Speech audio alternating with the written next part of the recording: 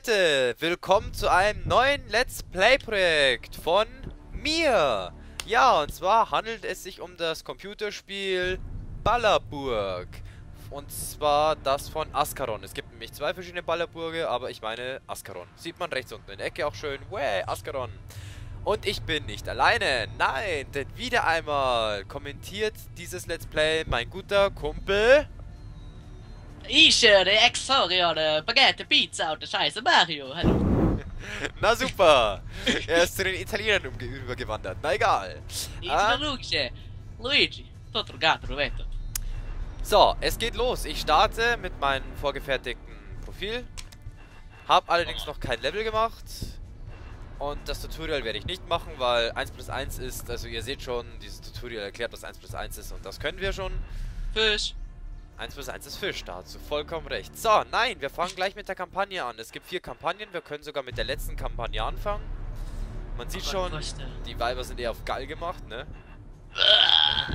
Die, oder Eiskönigin nicht, also ihr seht ja schon alles wie meine Omi, also ohne Witz.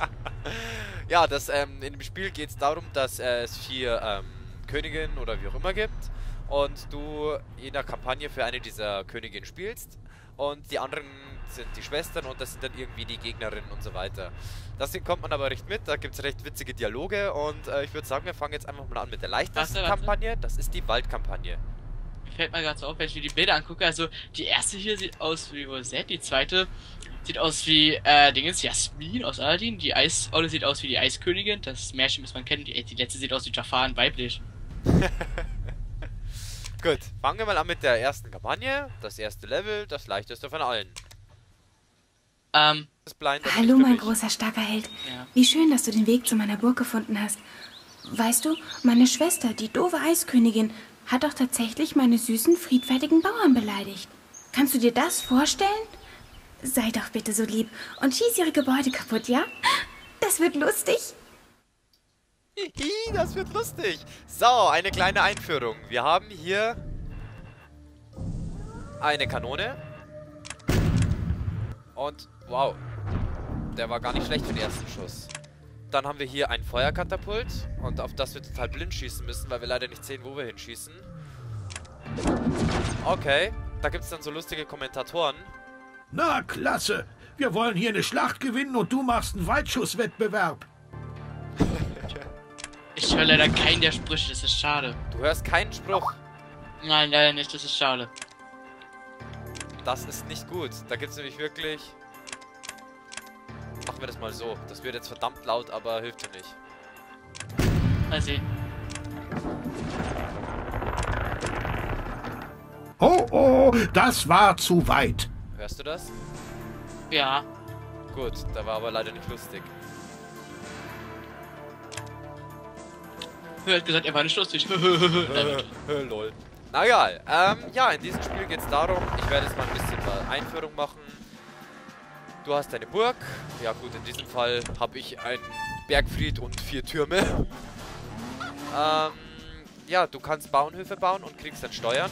Den Steuersatz kannst du auch festlegen, der ist bei mir auf 35%. Hier oben siehst du die äh, Bauern, die drin sind. Ich habe 60 von 60, das ist gut. Links siehst du das Geld. Ähm, ja, wir könnten jetzt zum Beispiel, ähm, können wir Gebäude bauen? Nein, in der ersten Mission kann man gar nichts machen. In der ersten Mission kann man eigentlich nur schießen. Äh, genau. So viel zu 1, 2, 3, 4. Uh, ja, da, wir nähern uns langsam.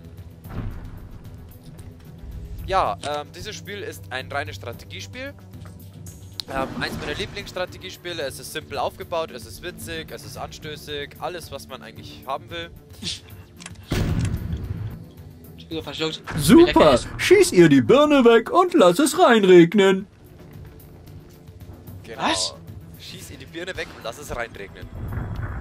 Und zack. Ja, lass es krachen! Yeah, lass es krachen, Mann.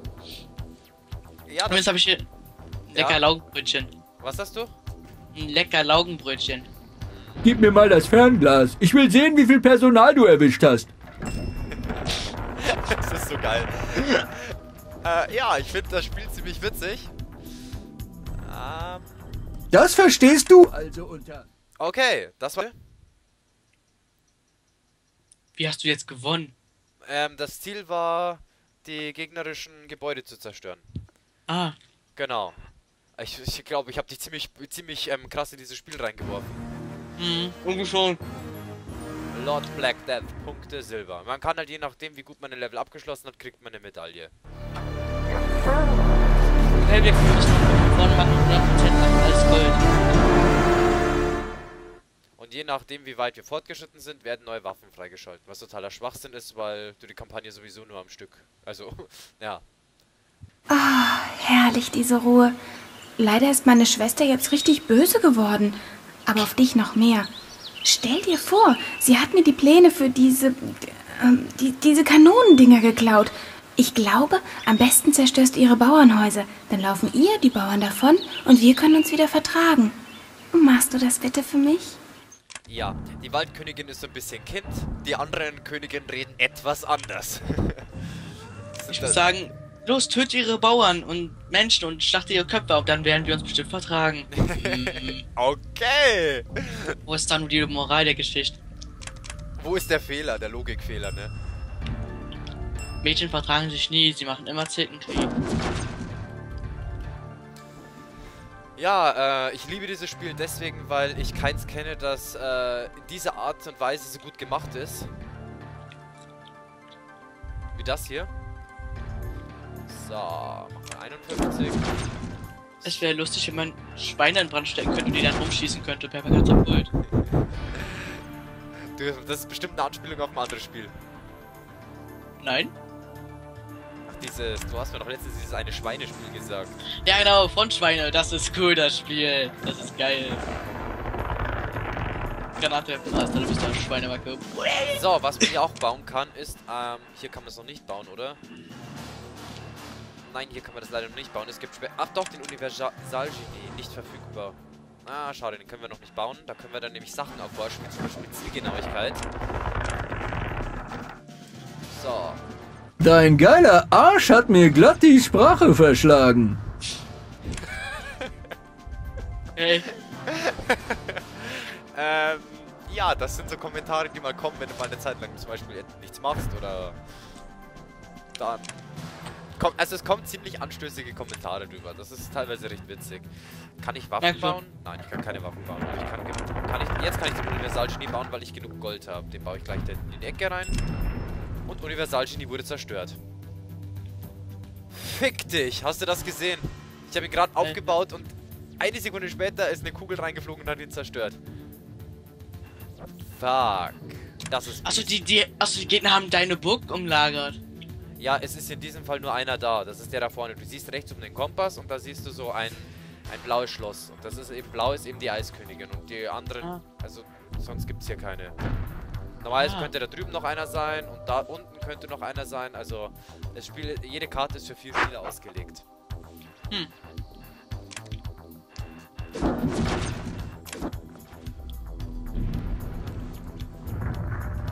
Gut, dass du dich in dem Spiel überhaupt nicht auskennst, weil du kannst mich alle möglichen Fragen stellen, die sich die äh, Zuschauer auch stellen würden. Entschuldigung, aber ich hatte die Schnauze voll. Ja, Okay, dann eine Frage. Wer ist dein Lieblingskommentator? der Dicke. Alles klar. Der Dicke ist Immer. richtig cool. Der Dicke ist richtig cool, den mag ich. Ja, Wobei man sagt, man kann nicht wirklich sagen Lieblingskommentator, weil es gibt halt, es, es kommt eigentlich auf die Kommentare an. Ja. So, dann schauen wir mal, dass wir die Ding hier. Ich werde jetzt mal etwas sparen, damit ich mir den Universalgenie leisten kann, weil man kann auch Waffen verbessern. Und. Wäre an Äh, sich nicht verkehrt. wie bitte? Wäre an sich ja nicht verkehrt. Ja, genau. Deswegen, der Karl der Dritte hat jetzt ähm, Zielgenauigkeit erforscht. Wenn ich nämlich eine Schenke gebaut habe, dann kann ich, ähm, dann wird mir immer angezeigt, was der andere zum Beispiel erforscht. Das macht eine Schenke, weil so in der Art so, ja, in der Schenke spricht sich ziemlich viel rum und deswegen. So, bitte schieß mir jetzt mit Universal-Genie nicht schon wieder zusammen. Ähm, Ja, stimmt, das mit den Kommentaren, das erinnert mich ein bisschen an StarCraft. Wenn du nämlich deine Einheiten, so eine bestimmte Einheit immer äh, die ganze Zeit einklickst, können die anderen so böse zu werden, so, so keine Hobbys oder so ein Scheiß. so bauen wir nochmal ein Bauernhaus. StarCraft habe ich leider Lass nicht gezockt. endlich die Finger von der Braut und kümmere dich um die Forschung. Es gibt auch sehr anspielige Kommentare, also richtig anspielige, die haben wir leider noch nicht. Gehört, aber werden wir noch so hören. Ja, da, das werden wir auf jeden Fall noch hören. Wo ich gerade frage, bei. Ich glaube nicht, dass das bei StarCraft war. Irgendein Spiel war das, wo man den Spieler selbst angesprochen hat, wenn man die Einheiten geärgert hat. Nach dem Motto, ey, nur weil du eine Maus hast, kannst du mich nicht ärgern. Pass auf, sonst komme ich aus dem Bildschirm. das ist auch nicht schlecht. Ja. So, lustig. Machen wir erst Zielgenauigkeit, würde ich sagen. Zielgenauigkeit ist sehr wichtig. Absolut keine Ahnung von dem Bait. Ah, gut, natürlich, man kann sich denken, zielen und dann noch eventuell die Art der Geschosse. Und drehende brennt Kuhfladen. das Gehäuse ab. Gehäuse, sag ich schon. Gebäude. Und es ist rot. Rechts unten siehst du übrigens äh, den Zustand. Hey, Meister, du kannst jetzt dein neues Spielzeug ausprobieren. Spielzeug. Als nächstes forschen wir Langer Fritz. Das macht meine Katapulte so stark, dass sie drei Geschosse auf einmal abfeuern. Also verbessert Katapult, Munition, drei Steingeschosse, Schusskosten 113 Goldstücke, geringer direkter Schaden, hoher Schadensradius, hohe Abweichung, hohe Flugbahn und so weiter. Also das... Mann, die schießen mir alles zusammen. Siehst du das? Meine ganzen Gebäude sind voll im Arsch. Wobei ich sagen muss, wie ich mich gerade frage, wie du auf Gehäuse kommst. Ich glaube, im Mittelalter gab es keine Autos. Ja, ich weiß. Ich meinte Gebäude. Ja, wobei, wenn so ein Haus fahren könnte. Ich stelle Feuer und einfach so zur Seite. So. Ja, jetzt muss ich meine Steuern runterstellen, weil bei 40 Steuern kriege ich da keinen Zuwachs. Stelle ich auf, weil ich habe jetzt 85 von 90 Bauern. Die sollte man auf jeden Fall voll werden lassen. Ja, money, money, money. Money, money, money. Makes me honey. Genau, wie auch immer. In a rich man's world.